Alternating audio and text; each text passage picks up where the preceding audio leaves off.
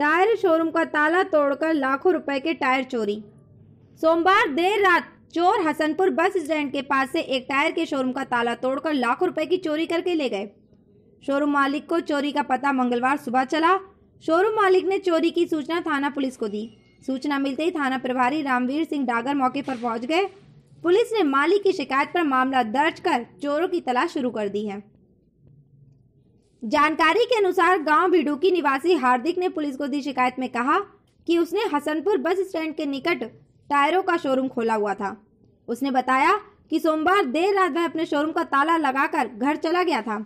मंगलवार सुबह उसे सूचना मिली कि उसके शोरूम के ताला टूटे हुए हैं।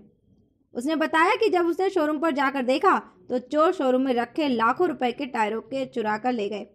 हार्दिक ने पुलिस को दी शिकायत में बताया कि चोर उसके शोरूम में से लगभग साढ़े सात लाख रुपए के टायरों को चुरा कर ले गए हैं। थाना प्रभारी रामवीर सिंह डागर का कहना है कि पीड़ित शोरूम मालिक की शिकायत पर मामला दर्ज करके चोरों की तलाश शुरू कर दी है।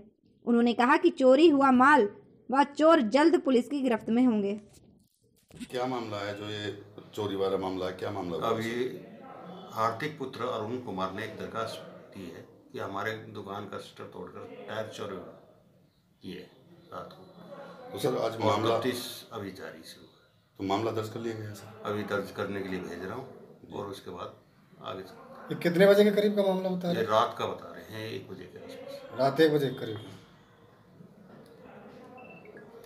क्या नाम है भैया आपका? मेरा नाम ऋतिक कुमार है जी। और ऋतिक जी क्या हुआ आपकी दुकान पे? मेरे दुकान में चोरी हो गई जी हमारी टायरों की दुकान है परशुराम टायर ट्रेडिंग के नाम से। जिसमें आज रात को चोर आए और हमारे ताले तोड़कर सारा सामान हमारा ले गए टायर रात को करीब कितने बजे की बात है? तकरीबन साढ़े दस बजे की ये बात है। और आपको कब मालूम पड़ा? हमें सुबह जब साढ़े सात बजे मालूम पड़ा। तो कितना नुकसान समझें इसमें दुकान में? सात लाख के समथिंग कुछ हमारा नुकसान हुआ और पुलिस को आपने इतला कर दिया? इतला सुबह ही कर दिया था। सुबह एस एच ओ साहब आ चुके हैं।